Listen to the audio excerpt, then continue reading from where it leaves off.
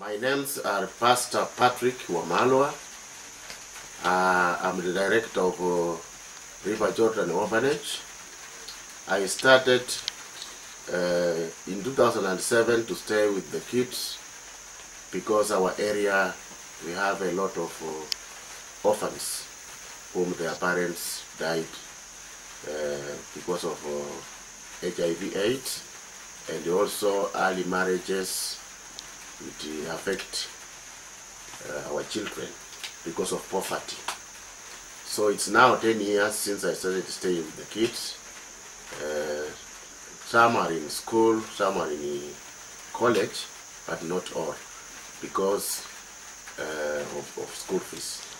And we have some children who are who are finished from four and they have not yet uh, got chance to go to college because of uh, school fees.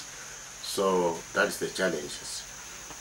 And also uh, some challenges is, sometimes it's food, clothing, uh, and, uh, and and and and the renovation of uh, the home.